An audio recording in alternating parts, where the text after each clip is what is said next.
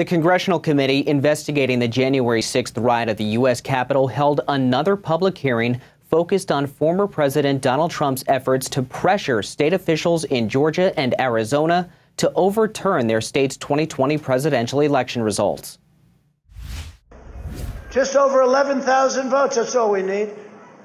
They defrauded us out of a win in Georgia. The pressure campaign included a call between Arizona House Speaker Rusty Bowers, Donald Trump, and Rudy Giuliani, in which Giuliani claimed they had evidence that 200,000 illegal immigrants and thousands of dead people voted in the 2020 election. But Giuliani had no evidence.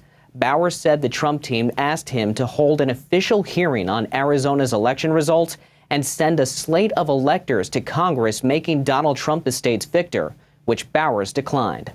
And I said, Look, you are asking me to do something that is counter to my oath when I swore to the Constitution to uphold it.